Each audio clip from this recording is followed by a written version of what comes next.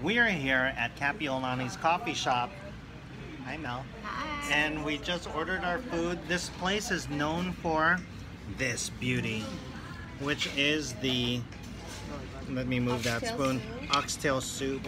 And it's delicious. We also ordered the, the chili. Oh my God.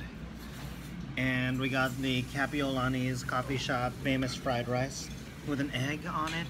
And of course, since we're here in Hawaii, we need the beef stew because it's hella good.